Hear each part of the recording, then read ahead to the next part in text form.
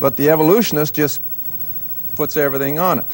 Now, the other verse I want Peter. We looked at this verse several weeks ago, but I think it behooves us to look at it again. In 2 Peter chapter 3. 2 Peter chapter 3.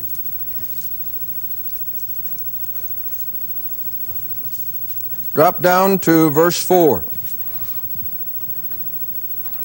Well, I guess we should read all three of them. Start verse 1. This second epistle, beloved, I now write unto you, in both which I stir up your pure minds by way of remembrance, that you may be mindful of the words which were spoken before by the holy prophets, in other words, the Old Testament, and of the commandment of us, the apostles of the Lord and Savior, knowing this first. Now, we're to know this, we're to expect it.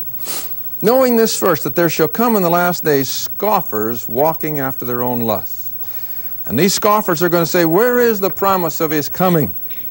For since the fathers fell asleep, all things continue as they were from the beginning of the creation. Nothing has changed. Verse 5 For this they willingly are ignorant of. I remember when I explained this verse a few weeks ago? Now, when it says they're willingly ignorant, what does it tell you?